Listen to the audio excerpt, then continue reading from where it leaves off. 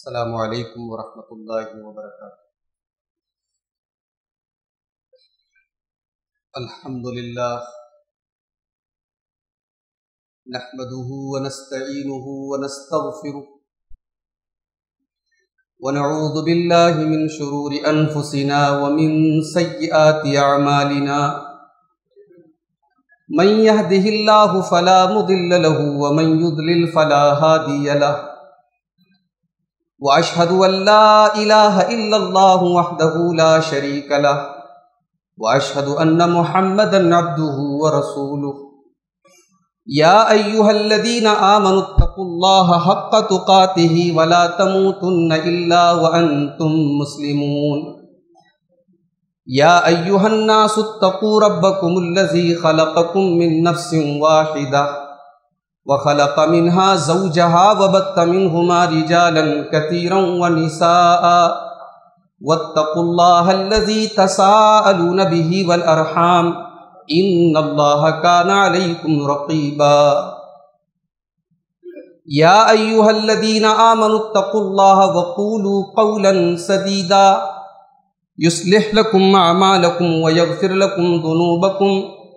वमन युतल्लाह व रसूलहू फ़कद फ़ाज़ फ़ौज़न अजीमा अम्मा बाद फ़ैन खैर हदीत किताबुल्ला व खैर हदी हदी मोहम्मद सल्लल्लाहु अलैहि वसल्लम व शर्रल उमूर महदतातुहा व कुल्ल महदततिम बिदा व कुल्ल बिदातिन ज़लालह व कुल्ल ज़लालतिन फ़िन्नार अऊज़बिल्लिमिनशैतानरजीम बसमीम तिलक हदूदुल्ला वमन युतिल्लाह व रसूलहू युदखिलहु जन्नातिन तजरी मिन तहतिहल अनहारु खालिदीन फीहा। वजालिकल फौजुल अजीम। वमन यासिल्लाह व रसूलहू व यतअद्द हुदूदहू युदखिलहु नारन खालिदन फीहा। वलहुआदाब मुहीन। कराम, मोहतरम बुज़ुर्गों, नौजवान साथियों पर्दा नशीन माओ और बहनों, प्यारे बच्चों, अल्लाह की तोफीक से जामा मस्जिद अल हदीस मोमिनपुरा बाई कल्ला मुंबई में आज हम और आप इस अजीम शान कॉन्फ्रेंस में मौजूद हैं। मैं मुबारकबाद देता हूँ आईआईसी के ज़िम्मेदारों को कि उन्होंने इंतहाई अहम और हसास मौजू पर, जिस मौजू पर इस तरीके के प्रोग्राम नहीं होते। कभी जुजवी बातें हो जाती हैं खुतबों में, तकरीरों में, लेकिन मुस्तकिल इस मौजू पर ये अजीम शान कॉन्फ्रेंस का इनका करना ये काबिल मुबारकबाद है। और दूसरी जो मुबारकबाद की वजह है कि इस प्रोग्राम के इनका के लिए आपने इस वसी अरीज और तारीख़ी मस्जिद मोमिनपुरा की ये मस्जिद, मुंबई की कदीम और तारीख़ी मसाजिद में से। है मैदान में भी प्रोग्राम अच्छे होते हैं, कामयाब होते हैं, मगर मस्जिदों में जिस कदर सुकून के साथ लोग बैठ करके प्रोग्राम सुनते हैं, वो कैफियत बाहरी प्रोग्रामों में नहीं हो। तो जो भी यहाँ सामीन और हाजरीन हैं, अल्हम्दुलिल्लाह असर के बाद से अब तक बड़े सुकून के साथ इस प्रोग्राम को समाप्त कर रहे हैं। मैं ज़िम्मेदारों को इसके इनका पर मुबारकबाद देता हूँ और अल्लाह से दुआ करता हूँ कि जिस मकसद के तहत आज का ये प्रोग्राम मुनद हुआ है, अल्लाह उन मकासद में हम सबको पूरा उतरने की तोफ़ी का फरमाए। आमीन।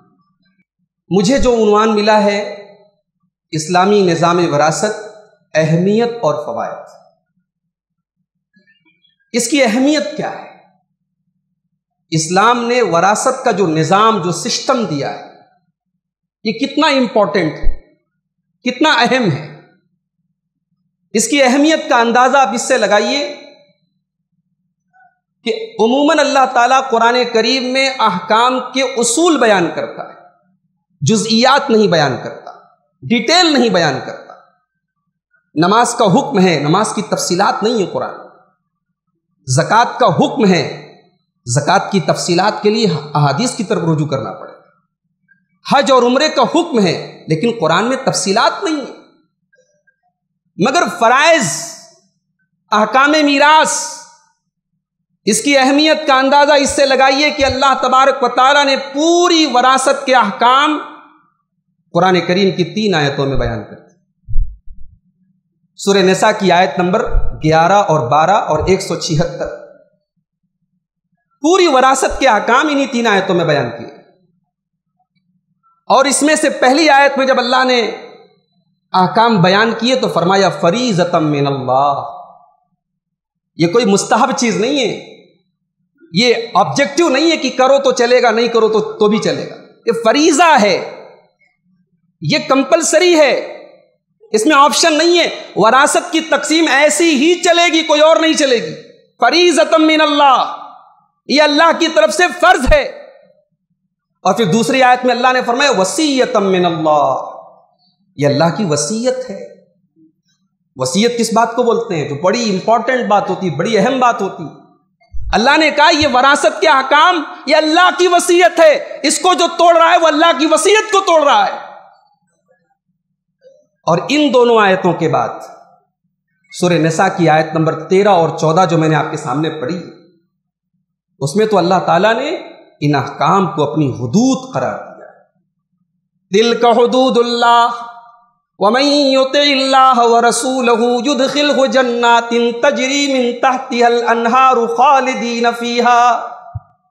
अल्लाह ने कहा, ये हमारी हदूद हैं। इन हदूद को क्रॉस मत करना। हमारे इन कवानीन पर अमल करना और इन पर जो अमल करेगा वो जन्नती है।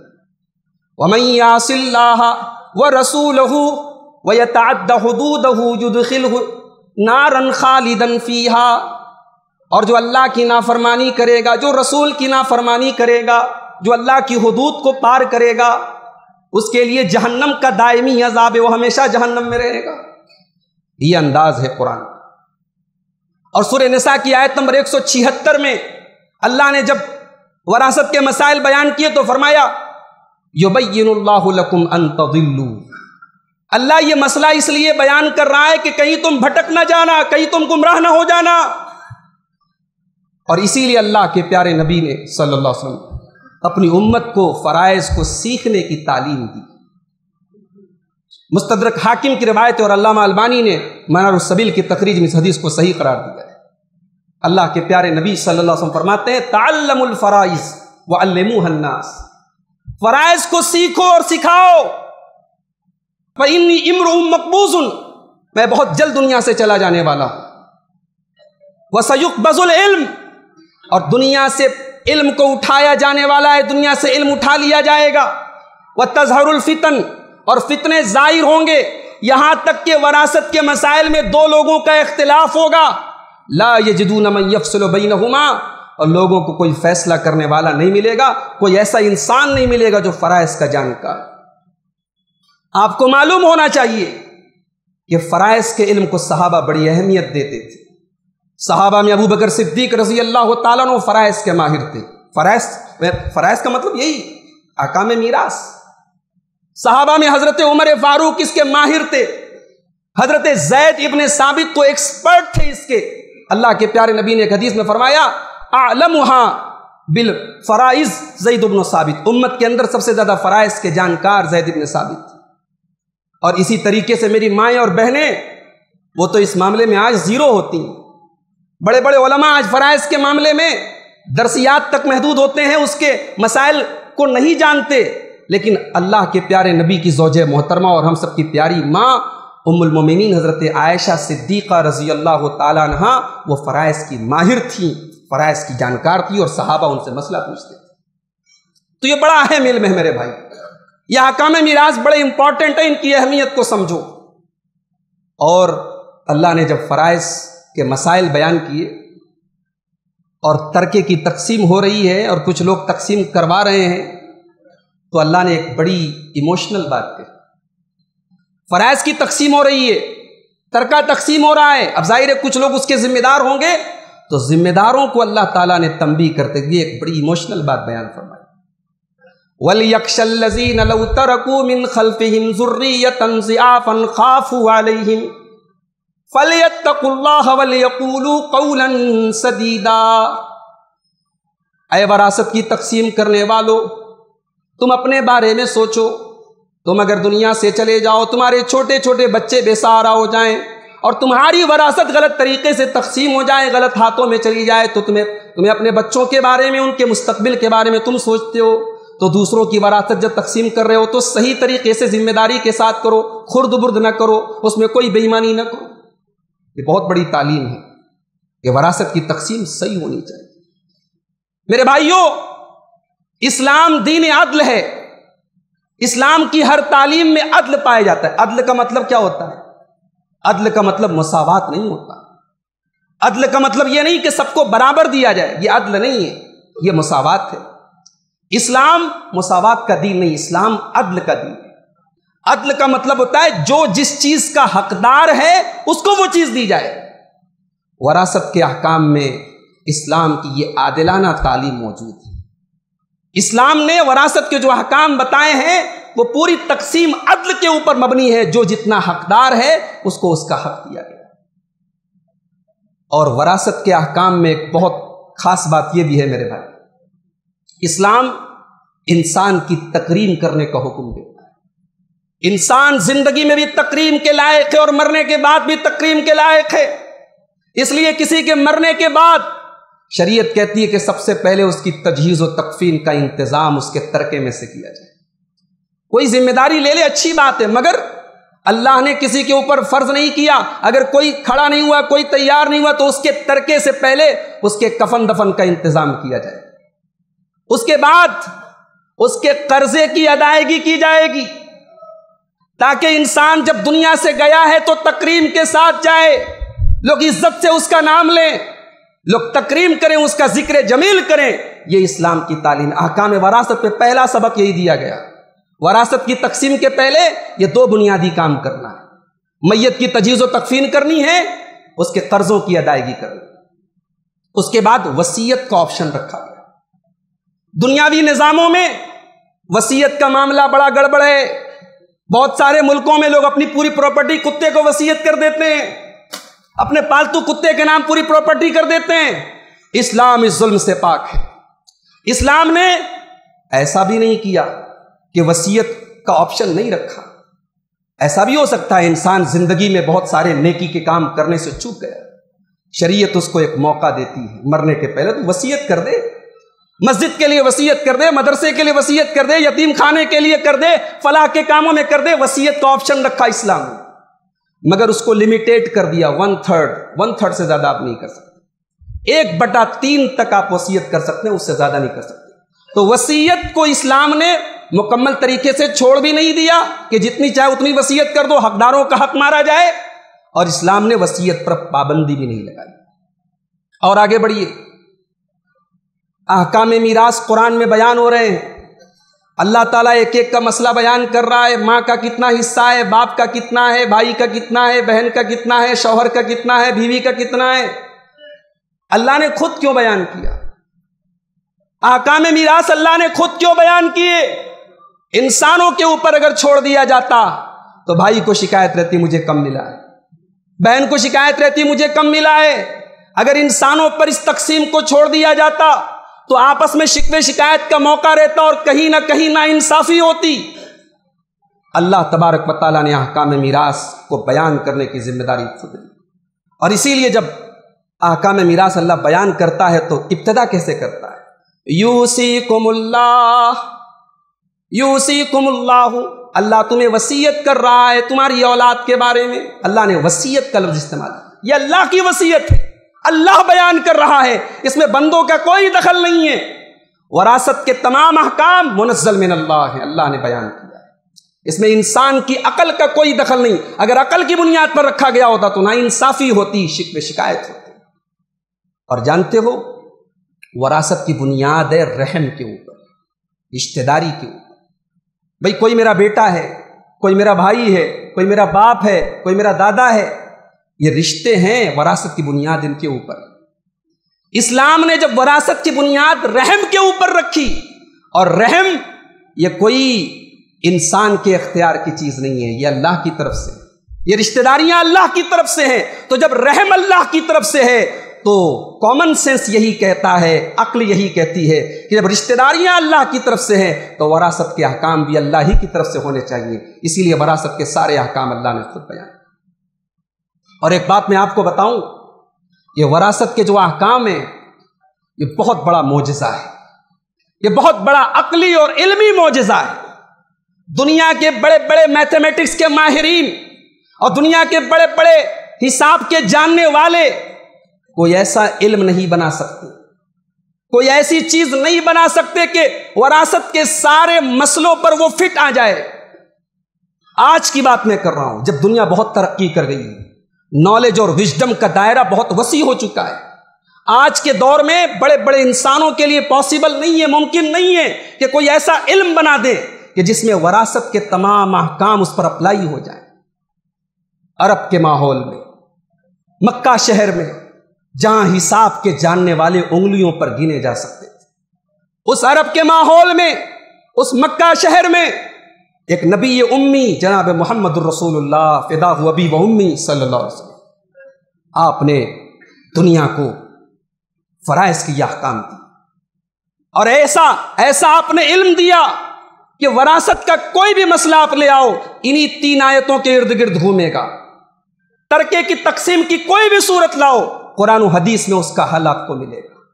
ये इल्म बता रहा है कि मोहम्मद अरबी ने ये बात अपनी तरफ़ से नहीं पेश की अल्लाह मुलगयूब की तरफ़ से पेश की, ये खालिक के कायनात की तरफ़ से पेश की। ये अल्लाह का इल्म है, ये अल्लाह की तरफ़ से नाजिल करता इल्म है।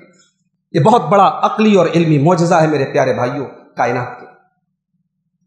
आप दौरे जाहिरियत के जरा हालात देखें। बाप मर गया, बड़ा बेटा सारी प्रॉपर्टी पर काबिज हो गया। किसी ने किसी को गोद ले लिया अब गोद लिया हुआ बेटा, मुतबन्ना बेटा, उसका अपना बेटा माना जाता है, उसकी प्रॉपर्टी का वारिस होता है। कहीं बड़ा बेटा वारिस हो रहा है, कहीं गोद लिया हुआ शख्स प्रॉपर्टी का मालिक बन रहा है, कहीं पर ताकत के बल पर जिसके पास सबसे ज़्यादा ताकतवर है, वो वारिस बन रहा है। औरतों को कुछ नहीं दिया जा रहा है, बच्चों को कुछ नहीं दिया जा रहा है कि भाई ये लड़ नहीं सकते।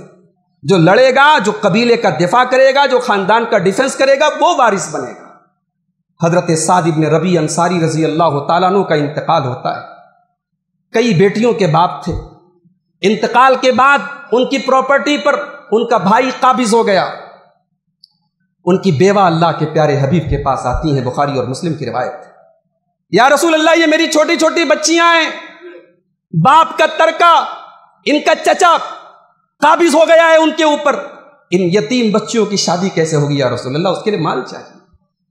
अल्लाह के प्यारे हबीब ने फरमाया, मुझे उम्मीद है अल्लाह यकजी बैना बैना बैना मुझे उम्मीद है कि अल्लाह ताला इसका फैसला ज़रूर करेगा और उसी के बाद आयत मवारिस उतरती है, मीरास के मुतालिक आयतें उतरती कितना जुल्म हो रहा था उस समाज में मेरे भाइयों। कहीं बच्चों पर जुल्म हो रहा है, कहीं औरतों पर जुल्म हो रहा है। मीरास के इन अहकाम ने जुल्म तादी को रोका है। वो औरत जो कभी खड़ी होकर के ये नहीं कह सकती थी कि मेरा भी हक है मेरे बाप की प्रॉपर्टी में। कुरान करीम ने ऐलान किया, लिर्रिजाली नसीब मिम्मा तरकल वालिदानी वल्लक़रबून, वलिन्निसाई नसीब मिम्मा तरकल वालिदानी वल्लक़रबून, मिम्मा कल्ल मिनहु कसुर नसीबम मफरूदा। अल्लाह ने कहा, जैसे मर्दों के लिए हिस्सा है उनके उनके बाप, उनके वालदेन के तरके में उनके रिश्तेदारों के तरके। उसी तरीके से औरतों के लिए। कम है, ज़्यादा है। कहीं कम है, कहीं ज़्यादा है। नसीब मफरूजा।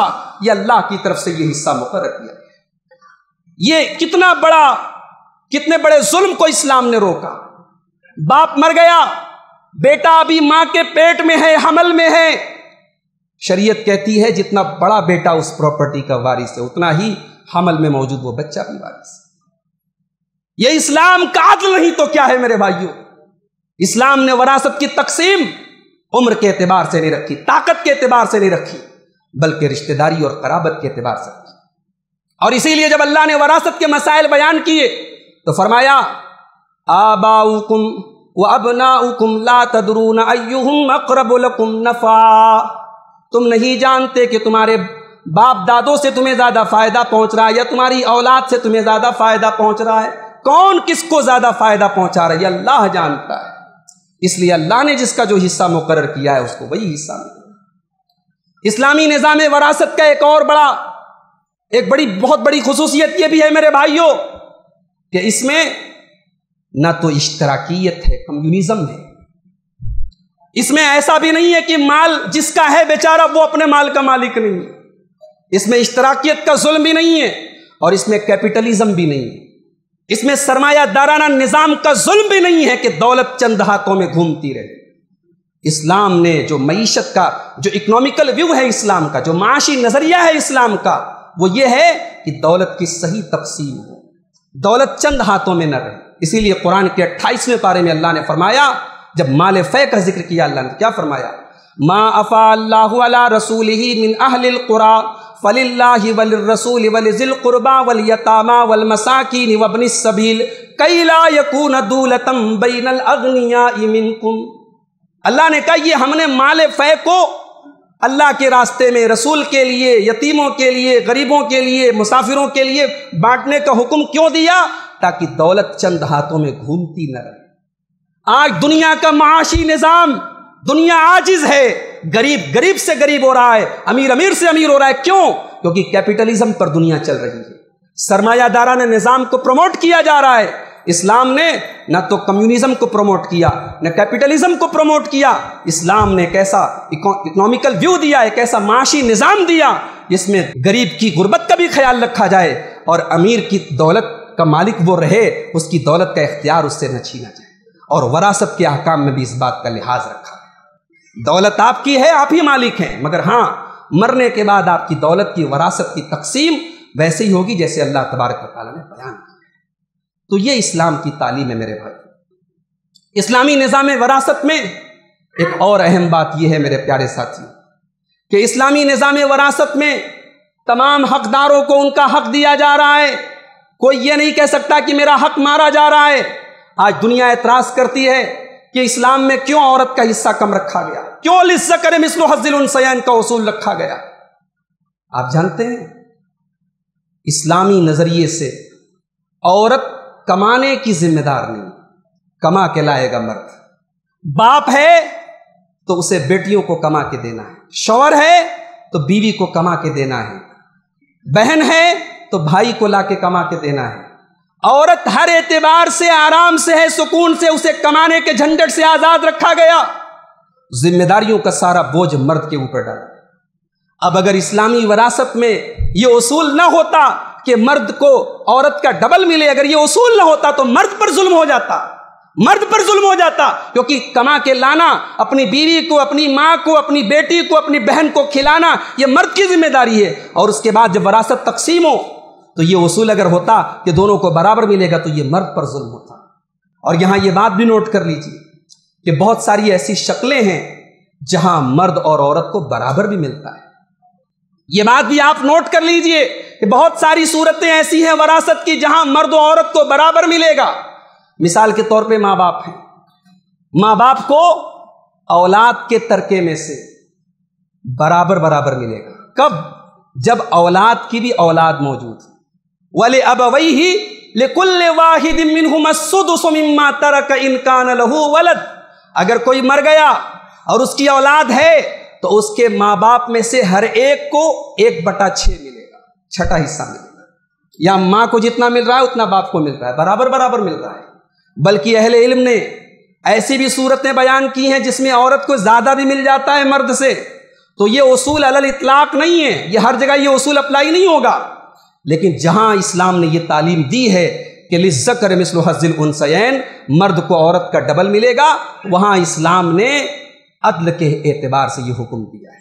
क्योंकि इस्लामी निज़ाम वरासत की एक खास बात यह भी है कि ज़िम्मेदारी और हकूक के दरमियान बैलेंस रखा गया है। किसकी कितनी ज़िम्मेदारी है और किसके कितने हकूक हैं, उस एतबार से इस्लामी निज़ाम वरासत तकसीम होगी। मेरे भाइयों, आज समाज में बड़े अफसोस के साथ कहना पड़ता है कि हम और आप बहुत सारी चीज़ों में अपने आप को कुरान हदीस पे चलने का दावा करते हैं और अमल भी करते हैं। मगर निज़ाम वरासत पर जब अमल की बात आती है तो वहाँ हमारा मामला बहुत पीछे हो जाता है। आज कितने खानदानों में बेटियों और बहनों को हक के वरासत देना तो बड़ी दूर की बात है। अगर कोई बहन खड़ी हो जाए, कोई बेटी खड़ी हो जाए तो उसको बेगैरत कहा जाता है, उससे रिश्ता तोड़ने की धमकी दी जाती है और कहीं के रिश्ता तोड़ दिया जाता है। ये कितना बड़ा जुल्म है जो आज हमारे समाज में हो रहा है। इसी तरीके से किसी भाई का इंतकाल अगर अपने बाप की ज़िंदगी में हो गया, उसके बच्चे यतीम हैं, शरीयत का एक कानून है कि बेटों की मौजूदगी में पोता वारिस नहीं होता। मुझे बड़ी माजरत के साथ कहने दीजिए, ये शरीयत का उसूल है, मगर हम और आप शरीयत को कहीं कहीं अपने मफाद के लिए इस्तेमाल करते वो चचा जिसने कभी शरीयत पर अमल नहीं किया होगा, अपने यतीम बच्चों का हक मारने के लिए वो फ़ौरन शरीयत का हवाला देता है और सारी प्रॉपर्टी पर खुद काबिज हो है। जबकि हम जानते हैं कि हमारे यहाँ मुश्तरका खानदानी निज़ाम है। भाई लोग बाप की ज़िंदगी में मिलकर काम कर रहे हैं, सारा मालिक बाप है और उसी दौरान अगर किसी बेटे का इंतकाल हो जाए, उसके यतीम बच्चों को फूटी कौड़ी नहीं मिलती। अहले इल्म ने यहाँ पर यह लिखा है, ये शक्ल भी लिखी है कि कुरान की जो आयत वसीयत है, उस आयत वसीयत का इतलाक यही होगा और दादा के लिए लाजिम है। बाज अहले इल्म का यह मौकफ है कि दादा के लिए लाजिम है कि वो वसीयत करे अपने यतीम पोतों के हक मेरे भाइयों, यहूदियों का तरीका हम ना अपनाएँ अफतु न बेबाजिल किताब व तक करू न बेबाज। कुरान की और शरीयत की बास बातों पर ईमान रखते हो और बात को छोड़ देते हो। जहाँ शरीयत से तुम्हारा मफाद निकलता है, जहाँ तुमको माल मिलने वाला होता है, वहाँ तुम शरीयत के हवाले देते हो। आज अपनी बीवी को अगर ससुराल से हिस्सा मिल रहा हो, हम लेने के लिए पहली लाइन में खड़े हो जाते हैं। उसके लिए आवाज़ उठाते हैं। अगर हमें कहीं से हक मिल रहा हो, वहाँ हम सबसे आगे वाली लाइन में खड़े होते हैं। और जहाँ देने की बात आती है तो सबसे पीछे वाली लाइन में नज़र आते हैं। ये डबल स्टैंडर्ड नहीं चलेगा। ये दोहरा मैार नहीं चलेगा। ये, यही तो नाप तौल में कमी है जो आज हमारे माशरे में अपनाई जा रही है। अल्लाह ताला ने कुरान करीम के तीसवें पारे में फरमाया वईलमुतफ़ीन अल्लजीन इज़क्तालु अलन्नास यस्तौफून, व इज़ा कालूहुम बर्बादी है ऐसे नाप तौल में कमी करने वालों के लिए कि जब देने का नंबर आता है तो डंडी मारते हैं और जब लेने का नंबर आता है तो पूरा लेते हैं। तो वरासत के जो ये अहकाम हैं, इनकी अहमियत और इनके फ़ायदे अधूरे हैं, जब तक हम इनके ऊपर अमल न आज कितने घरों में बाप के इंतकाल के बीसों बरस हो गए। भाइयों में मुकदमेबाजी हो रही है। किसी भाई को तौफीक नहीं होती कि एक दिन सर जोड़ करके बैठे और शरीयत के मुताबिक अपने बाप का तरका तकसीम। क्यों देर करते हो मेरे भाई? क्यों देर करते हो? शरीयत ने मरने के बाद वरासत की तकसीम जल्द से जल्द करने का हुक्म दिया है। आज वरासत के अहकाम की इस कॉन्फ्रेंस में और इसकी अहमियत और फवायद को बयान करते हुए मैं अपने दिल की गहराइयों से आपको ये दावत देता हूँ कि आप इबादात में और अकायद में जिस तरीके से आप कुरान सुन्नत पर अमल करते हैं, वरासत के अहकाम में भी मेरे भाइयों कुरान सुन्नत पर अमल करने वाले बन जाएँगे इस्लाम एक कामिल दीन, एक जामत हयात है। इस्लाम सिर्फ़ अकायद का नाम नहीं, सिर्फ़ इबादत का नाम नहीं। इस्लाम मुआशरत का नाम भी है और मुआशरत का बड़ा अहम पहलू है। और आज अल्हम्दुलिल्लाह, अगर हम सही तरीके से वरासत की तकसीम करें और हमारे बड़े मोहतरम और मुज्ज़ मेहमान आलिम दीन शेख अब्दुल मदनी साहब अभी मेरे बात खिताब करेंगे। इस इस, यानी वरासत में होने वाली गलतियों पर वो रोशनी डालेंगे। हमें और आपको ये चाहिए कि हम अपने यहाँ से सुन करके चले न जाएँ। हम कम से कम अपने घर को दुरुस्त कर लें। हम अपने घर वालों को वसीयत कर दें कि हमारी वरासत सही तरीके से तकसीम। हम अपनी बेटियों को और अपनी बहनों को देने का गट्स अपने अंदर पैदा करें। इन अगर इतना काम हम कर लें, मैं समझता हूँ कि आई आई सी के जिम्मेदारों की ये मेहनत इन कामयाब हो जाए मैं अल्लाह से दुआ करता हूँ, रब्बुल हम सबको अहकाम वरासत के सिलसिले में सही जो तरीक़ा है, कुरान सुन्नत का तरीका है, उसको अपनाने की तोफ़ी फरमाए। रब्बुल हमें शरीयत के हर हुक्म पर अमल करने की तोफ़ी कता फ़रमाए। रब्बुल हमारे अंदर जो कोताहियाँ और कमियाँ हैं, उनको दूर करने की और अपनी असलाह करने की हम सबको तोफ़ी कता फ़रमाए। आमीन। व आखिर दावाना अलहमदिल्ला रबीआलमीन अल्लाम वरहमल